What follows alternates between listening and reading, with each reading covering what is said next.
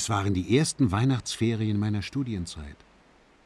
Wochenlang hatte ich schon die Tage, endlich die Stunden gezählt, bis zum Morgen der Heimfahrt von Graz ins Alpel.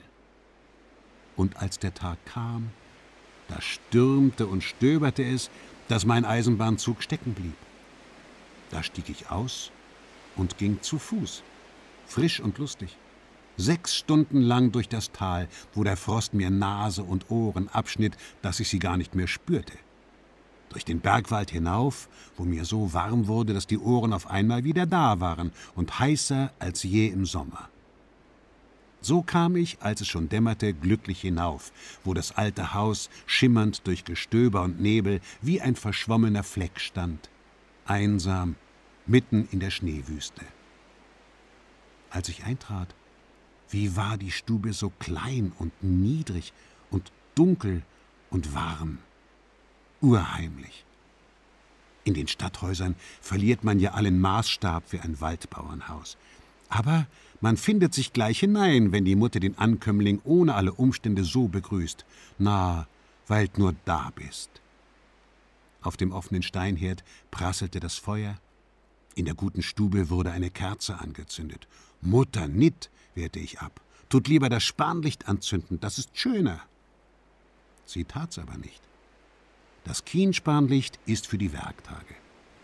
Weil nach langer Abwesenheit der Sohn heimkam, war für die Mutter Feiertag geworden, darum die festliche Kerze. Als die Augen sich an das Halblicht gewöhnt hatten, sah ich auch das Nickerl, das achtjährige Brüderlein. Es war das jüngste und letzte. Anschauen tut gut, lobte die Mutter meine vom Gestöber geröteten Wangen. Der kleine Nickerl aber sah blass aus. Du hast ja die Stadtfarb statt meiner, sagte ich und habe gelacht. Die Sache war so. Der Kleine tat Husten, den halben Winter schon. Und da war eine alte Hausmagd, die sagte es täglich wenigstens dreimal, dass für ein hustendes Leut nicht schlechter sei als der kalte Luft. Sie verbot es, dass der Kleine hinaus vor die Türe ging. Ich glaube, deshalb war er so blass und nicht des Hustens halber. In der dem Christfest vorhergehenden Nacht schlief ich wenig, etwas Seltenes in jenen Jahren.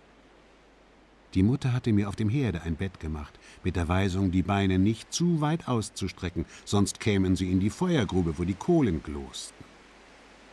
Die glosenen Kohlen waren gemütlich, das knisterte in der stillfinsteren Nacht so hübsch und warf einen leichten Glutschein an die Wand, wo in einem Gestelle die bunt bemalten Schüsseln lehnten.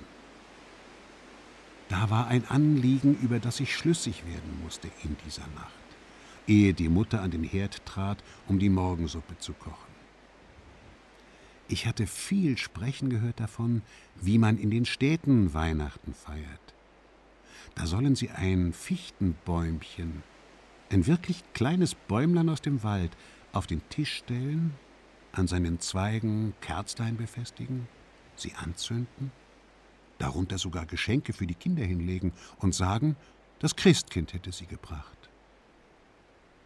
Nun hatte ich vor, meinem kleinen Bruder, dem Nickerl, einen Christbaum zu errichten. Aber alles im Geheimen, das gehört dazu. Nachdem es soweit Taglicht geworden war, ging ich in den frostigen Nebel hinaus. Und just dieser Nebel schützte mich vor den Blicken der ums Haus herum arbeitenden Leute, als ich vom Walde her mit einem Fichtenwipfelchen gegen die Wagenhütte lief.